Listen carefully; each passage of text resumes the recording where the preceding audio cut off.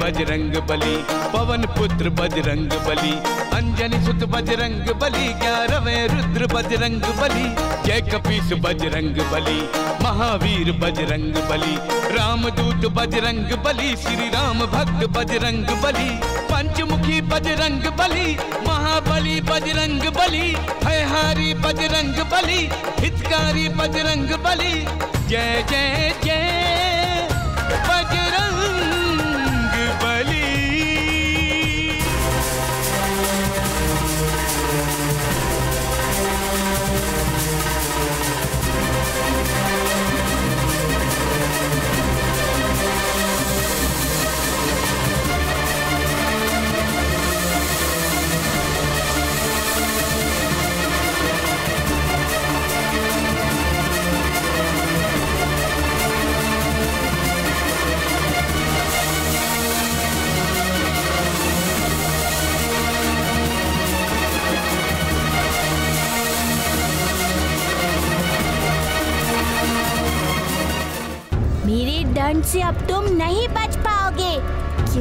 तुम्हारे पाप का घड़ा अब भर चुका है।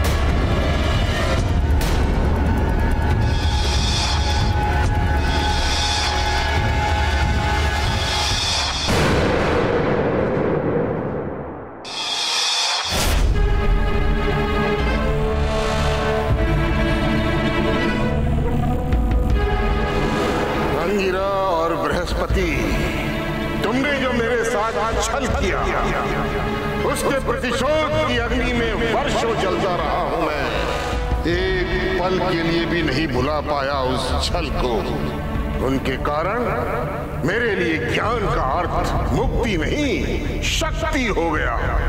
उनके कारण ही मैंने जो यज्ञ किए, वो मोक्ष प्राप्ति के लिए नहीं किए। अपितु अपने प्रतिशोध को पूर्ण करने के लिए किए। पथभ्रष्ट हो गया मैं उनके कारण, धर्म भ्रष्ट हो गया मैं।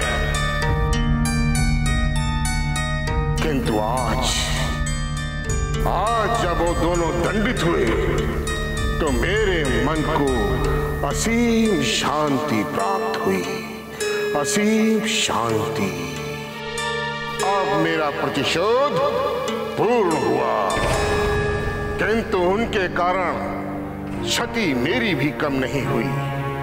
अपने प्रतिशोध को पूर्ण करने में मेरी बहुत सी शक्तियाँ समाप्त हो गईं, जिन्हें मैं इस हिमालय के एकांत स्थान में बैठकर पुनः अर्जित करूँगा। बड़ा ही उपयुक्त स्थान है ये। तप द्वारा शक्ति अर्जन का।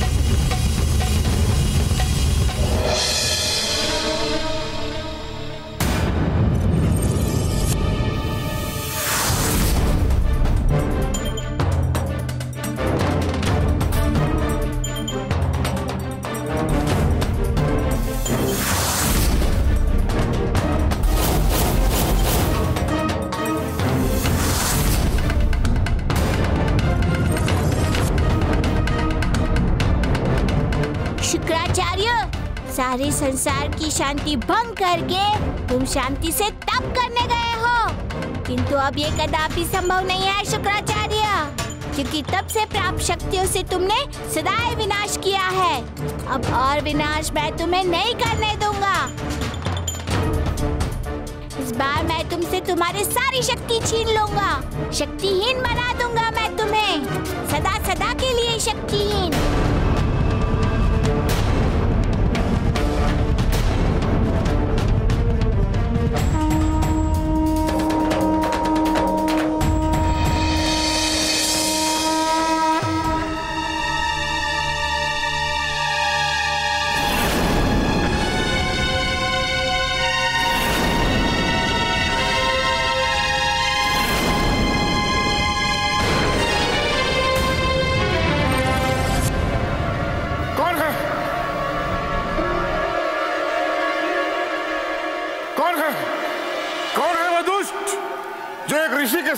छल कर रहा है। जय बजरंग बली जय बजरंग बली जय बजरंग बली जय बजरंग बली जय बजरंग बली। ऋषिवर यदि आपको ये छल लगता है तो वो क्या था जो आपने ऋषि अंगीरा के साथ किया था? यदि आपके अनुसार ये छल है तो वो क्या है जो आप कुबुद्धि के माध्यम से गुरु बृहस्पति के साथ कर रहे हैं रुद्रावतार, वो छल नहीं, प्रतिशोध है, प्रतिशोध। उनके छल का दंड प्रतिशोध के रूप में। ब्रह्म ऋषि होकर भी आप ऐसी अधर्म संगत की बात कर रहे हैं? ऋषिवर, धर्म के नाश और अधर्म की स्थापना से बड़ा छल इस सृष्टि के साथ अभी और कुछ नहीं हो सकता। आज मैं आपको आपके छल का दंड देने आया हूँ यहाँ। रुद्रावतार, मैं रघुपुत्र शुक्राचार्य, मुझे इस संसार में कोई दंडित नहीं कर सकता। क्योंकि मेरे पास, मेरे तप के द्वारा अर्जित असीम शक्तियाँ हैं। जिनके भीतर कोई अन्य शक्ति प्रवेश ही नहीं कर सकती।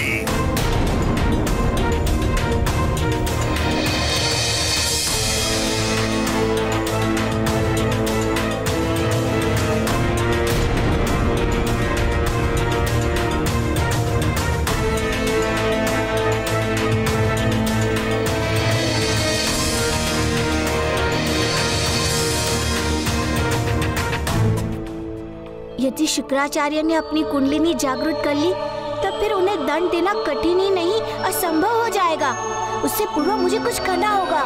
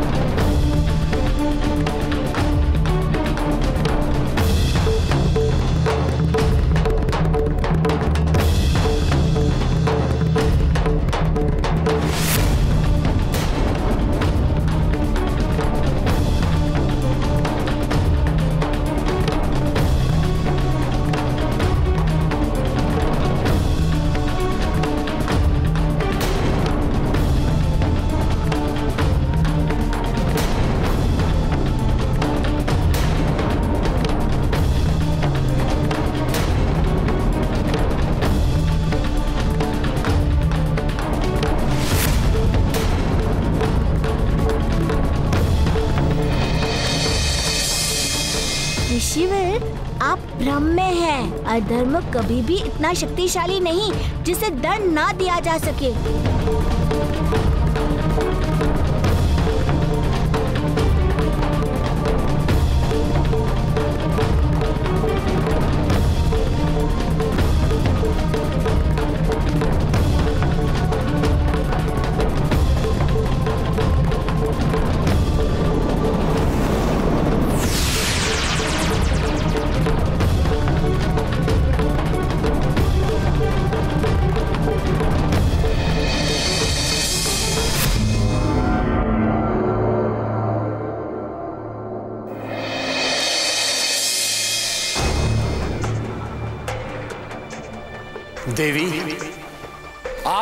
सृष्टि का सबसे शक्तिशाली व्यक्तित्व हूँ। संसार के सभी सुखों का उपभोग कर सकता हूँ। इसका श्रेय जाता है तो केवल आप। यदि आपने मेरा मार्गदर्शन नहीं किया होता तो ऐसा कभी संभव नहीं था। इसलिए आपकी जितनी प्रशंसा करूँ, कम है। बृहस्पति, अब तुम पूर्ण रूप से मेरे प्रभाव में हो। इसलिए तुम एक ऋषि की भांति नहीं, एक असुर की भांति सोच रहे हो। तुम्हारी इस प्रवृत्ति के कारण एक प्रकार से स्वर्ग लोक अब असुरों के अधिकार में आ गया है बृहस्पति। अब यहाँ पर सब असुरी कार्य होंगे। रास रंग और भोग में मैं तुम्हें ऐसा डुबो दूँगी कि स्वर्ग की सारी पुण्यता सारी गरिमा समाप्त हो जाएगी। देवी आगे क्या क्या है? देवगुरु सबसे पहले आप अपने मन मस्तिष्क को शांति दीजिए। अप्सराओं के नृत्य का आनंद लीजिए। क्योंकि नृत्य से बढ़कर और कोई सुख नहीं है। जैसा आप कहेंगे, वैसा ही होगा।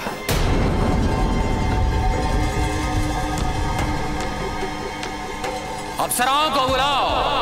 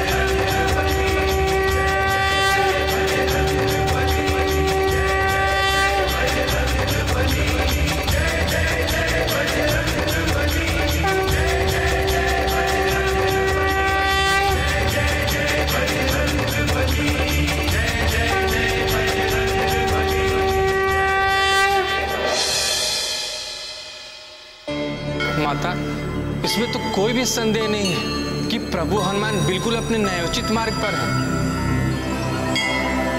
शुक्राचार्य के वैसे जघन अपराध के लिए दंड के अतिरिक्त अन्य कोई विधान नहीं है। किंतु माता, मैं एक बात समझ नहीं पा रहा हूँ। शुक्राचार्य ने जिन शक्तियों को अपने तप और यज्ञ से अर्जित किया है, उन शक्तियों को प्रभु हनुमान भला उनसे किस प्रकार छीन सकते हैं? देव कुबेर शुक्राचार्य केवल जन्म से ऋषि हैं। अपने कर्मों से नहीं। उनके कर्म असुरों वाले हैं और विधि के विधान अनुसार। असुरी कर्मों वालों का दंड केवल मृत्यु दंड है। किंतु ऋषि योनि में जन्म लेने के कारण हनुमान उन्हें मृत्युदंड नहीं दे सकते। किंतु वे उनसे उनकी शक्तियाँ अवश्य छीन सकते हैं। ये क्षमता है उनमें। और ऐसा करके प्रभु हनुमान उनका हित ही करेंगे। इससे शुक्राचार्य के विनाशकारी अहंकार का अंत सदा सदा के लिए हो जाएगा।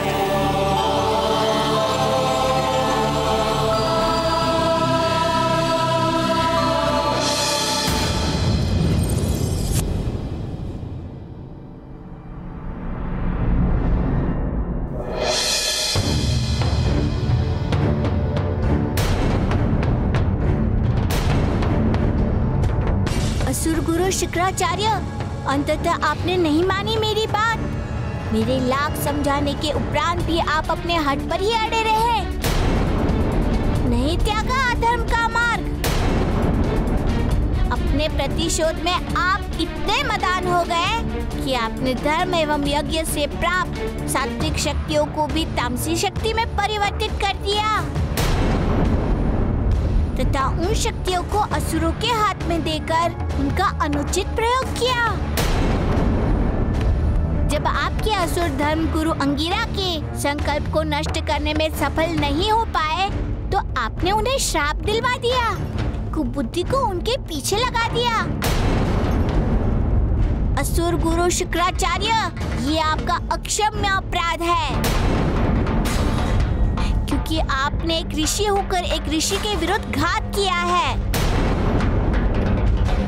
आपके इस पाप कर्म का मैं आपको कठोर दंड दूँगा। जिसकी कल्पना ना ही आपको होगी और ना ही पूरे संसार को ऋषि शुक्राचार्य। आज मैं आपकी सारी शक्तियों को छीनकर आपको शक्तिहीन कर दूँगा।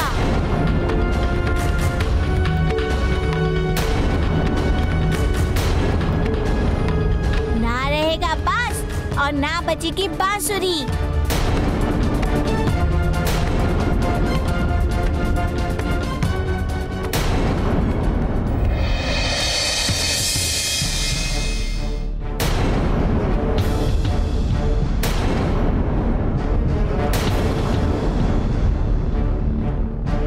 अप्सरा तुमने सुना नहीं मेरा आदेश। नृत्य प्रारंभ करो। मनोरंजन करो हमारा। किंतु गुरुदेव ये अधर्म है। अधर्म? कैसा अधर्म? क्षमा करें गुरुदेव हमारे जानकारी के अनुसार आप एक ऋषि हैं आप एक धर्मज्ञ हैं। हमारे नृत्य से आपका मनोरंजन तो हो सकता है किंतु हमारे लिए ये अधर्म है। मूर्ख मुझे उपदेश देती है मुझे? मुझे धर्म अधर्म की परिभाषा बताती है। अज्ञानी! तेरा धर्म है केवल मेरे आदेश का पालन और तू वही कर। किंतु गुरुदेव? मूर्ख तर्क नहीं। मैं इंद्र नहीं हूँ। मैं हूँ गुरुदेव बृहस्पति। मैं तुझे स्वर्गलोक से निष्कासित कर दूँगा। और यदि एक बार तुम्हें स्वर्ग से निष्कासित कर दिया तो फिर स्वर्ग में तुम्हारे लिए कोई स्थान नहीं होगा और न ही पृथ्वी लोक पर। न ही तुम्हारे लिए जीवन होगा और न ही मृत्यु। कष्ट का पर्याय बन जाओगे तुम घोर कष्ट का। बोलो बोलो अप्सरा। क्या फिर तुम अस्वीकार करोगी मेरे आदेश का पालन?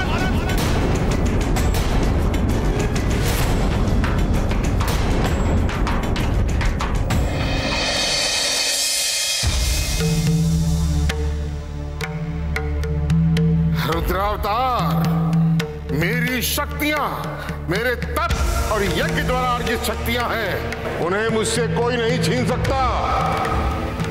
ऋषिवर, शक्तियाँ उनकी नहीं छीनी जाती जिनके पास पुण्य संचित हो। किंतु आपके पास आपके अधर्मी एवं असुरी आचरण के कारण पुण्य का लघुवंश भी अवशेष नहीं है। शेष है आपका अहंकार। एवं आपका प्रतिशोध। उसका अंत मैं करूँगा।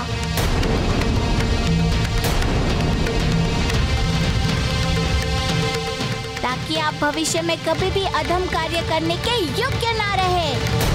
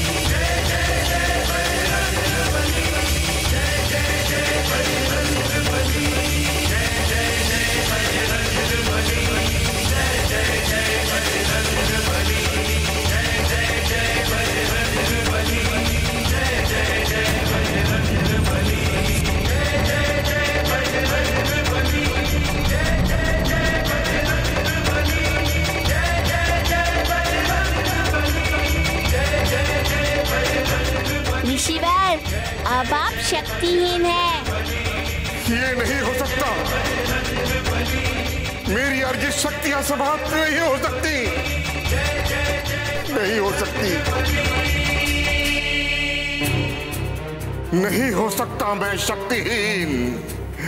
नहीं हो सकता मैं शक्तिहीन।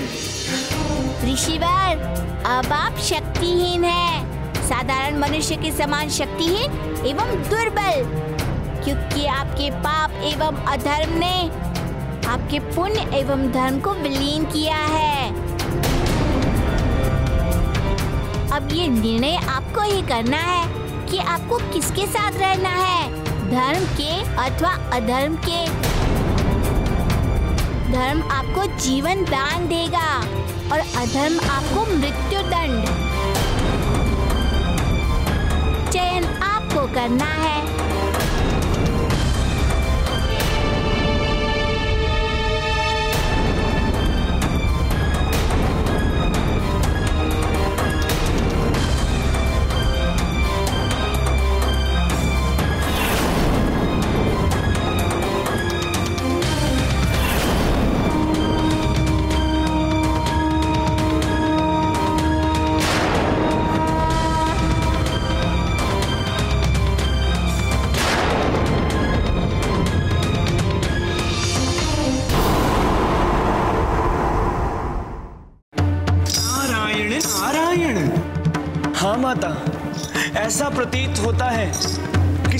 स्वर्गलोक में गुरु बृहस्पति की नहीं, अपितु शुक्राचार्य की उपस्थिति है।